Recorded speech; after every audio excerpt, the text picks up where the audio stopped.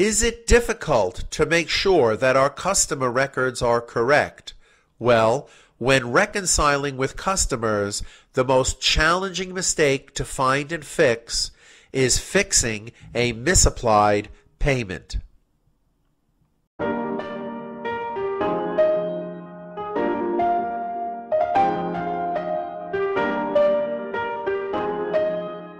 If you have any questions about this topic, you can leave them in the comments section below and I'll do my best to help you. And of course, if you feel the video helped you, I hope you will click like and don't forget to subscribe to get updates on new videos that come out all the time.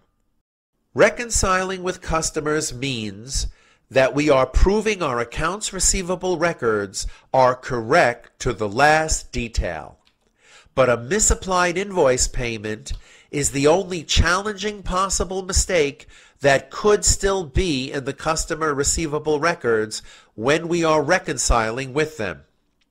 The customer's total balances will be the same, and that's one of the things that makes this challenging to find. In fact, the customer transaction list will be the same, and if you look at the report, you will not be able to tell that there is a misapplied payment just by looking at a list of transactions or just by looking at the balance. In fact, the running balance, or what QuickBooks calls the balance forward, will also be the same if you have this particular mistake. The only indication of a misapplied payment will be a different open unpaid balance in the open invoice report. For example, I, Mark, your teacher, went back into our QuickBooks Online records, and I purposely misapplied one of Alan's payments that we get that we received from him in the past, and then we'll imagine that we sent him a January statement with this mistake. Now, the statement we sent him said balance forward. And if you send a balance forward type of statement, you will not see the mistake listed here.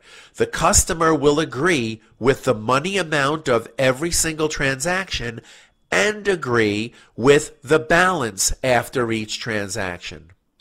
In fact, the only way that you can tell there is a mistake is if you send this type of statement, the open item statement. So let's imagine we sent Alan the open item statement and ours with the mistake looked like this, but theirs without the mistake looked like that.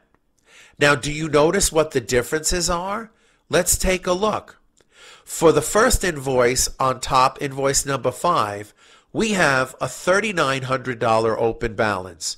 But in their records for that same invoice, they have a 2900 open balance.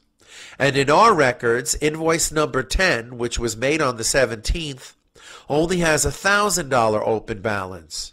But in their records, that very same invoice, number 10, has a $2,000 open balance. That's how you know the mistake must be a misapplied payment. So, we know the mistake was a misapplied payment, but somebody misapplied the payment to the wrong invoice. QBO, QuickBooks Online, has something great that's going to help you find the misapplied payment. Remember we can make this type of statement, transaction statement, only in QuickBooks Online do we have a transaction statement that we can compare that shows both the amount of the invoice and the amount that has been applied to each invoice. And by putting them next to each other, it will help us determine which payment was misapplied. As you can see, zero in our records, zero was applied to invoice number five. But in their records, $1,000 was applied to invoice number 5. And in our records, invoice number 10 has 1380 worth of payments applied. But in their records, only 380 of payments were applied. So we can figure out between the open invoice and this that it must have been $1,000 that was applied to one that should have been applied to the other. So, somebody has a misapplied payment and QuickBooks Online has something else that's really great that's going to help you find a misapplied payment. The top right of every invoice has a payment history. In other words, opening the invoice and looking at the top right will show you a list of every payment that has been applied to that invoice. I think this is really great. So, in other words, if I went to the reports and I went to my favorite one in this case, transaction list by customer, we can scroll up to the section of Allen and look only at the January set of transactions. Now let's pick an invoice to open up. For example, I will open up the January 17th invoice number 10. And when I double click, I go back to the invoice and we can look at the top right and we can see that for this specific invoice, there were two payments made totaling 1,380. In fact, we could even click on this and get a list of the individual payments that have been applied to this invoice. And if that's not enough, we can double click and open up the payment itself and see exactly where the check marks are and which invoices have been paid by this particular payment. So now that we know where to look, what do we do in a real situation?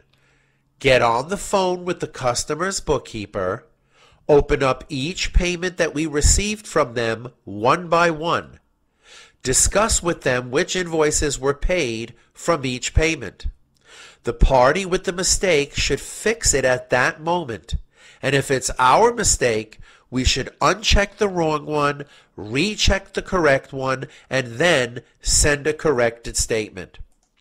So in the example I gave, we looked at the report, we went to transaction list by customer, we were on the phone with the customer opening up each payment, and when we opened up the January 19th payment, we saw that the customer had applied it to invoice number 5 and we applied this thousand dollars mistakenly to invoice number seven, uh, invoice number ten, which was done on the seventeenth. So all we have to do is uncheck the wrong one and recheck the correct one to reapply the payment to the correct invoice. Click Save and Close and just click Yes. Now when we go back to the Open Invoice Report, we can see that our individual invoice balances for the January invoices now match and we can send them a corrected statement.